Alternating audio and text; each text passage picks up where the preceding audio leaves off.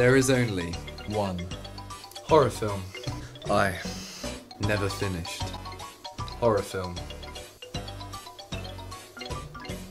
Allow me to introduce Mr. Heelshire. And this is our son, Brahms. This doll is what happens when Chucky learns how to keep quiet. He is literally the love child of the weeping angels from Doctor Who, and those little mosquitoes that hum in your ear and scare the shit out of you in your sleep. So this film is about an American babysitter who comes from America to get away from her boyfriend and she comes to this house, gets told to babysit a doll and gets given these rules. They're just not right.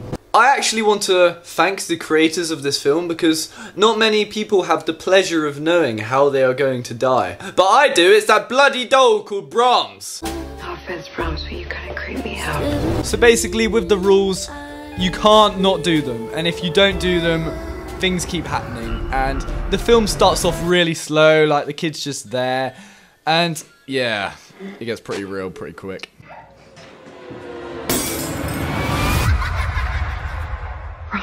Most horror films wait till the very end to scare you. This film doesn't do that. This film scares you from the very beginning. It gets straight into the creepiness. I needed someone else to see it. See what? If you leave him alone, then I'll give you a sign. This is like some kind of magic trick, right? It's not a trick. Tell me about the real Brahms. He was downright strange. Oh, hello, little boy. Do you want to become the scariest thing in my life? Cool. All right. See you later. Little girl from town used to come out here to play with Brahms. They found her body in the woods. By the time the police arrived, the place was up in flames. Oh, I wonder who that was. Hmm. Brahms didn't make it out. This isn't your typical possessed doll film. Nah, nah, nah, nah, nah, nah, nah, nah, nah, nah, nah, nah. The, this film's way too scary for that, right? This kid is still alive. This kid never died in the fire. This kid is living in the walls, and he is moving the doll to scare the woman. Hello? No one's been up there for years.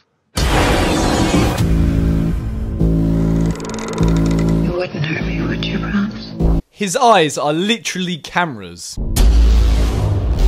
It's not safe in his house. Imagine walking past and seeing that. I would genuinely have a heart attack on the spot. You don't understand what's happening.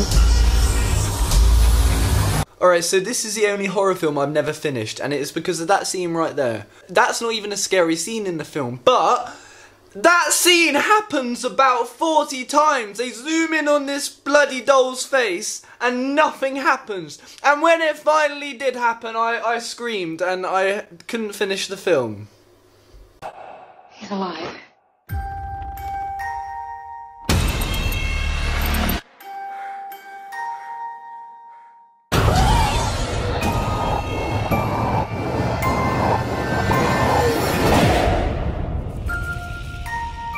You will be good to him, won't you? I haven't even seen this bit.